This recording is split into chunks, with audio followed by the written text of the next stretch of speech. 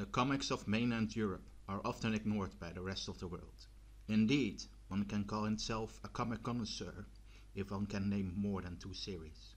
Number 6, The Mercenary, created and written, drawn by the Spanish artist, excuse my pronunciation, Vicente Segrelles. The setting supposedly is at Earth, at the start at the first millennium. But the tech and armor is all wrong. Well, there is unique ma magic in the world. Most of it is alien tech. I think the mercenary itself believes and later discovers. The mercenary himself is a man of unknown origin, while he lives with the monks at the mountain range in the Himalayas, often working together with Nantai, the granddaughter of the high priest, and the scientist Arnaldo.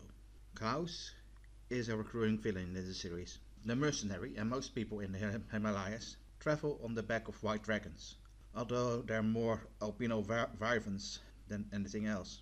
But like wings and no breath weapons, yeah, no real dragons. In fact, these, these are descendants of the dinosaurs, at least in this world. The series The Mercenary is that secret wish that you want that amazing cover art of, high, of a high fantasy novel to be continued Indeed, the artist made every page with acrylic paint, which is time consuming but with impressive results. Well, on the stand open, switch to digital. Well, one could say that that would speed up things. The Mercenary has only 13 books that we can enjoy. Well, times, personally, the storytelling is not at its best.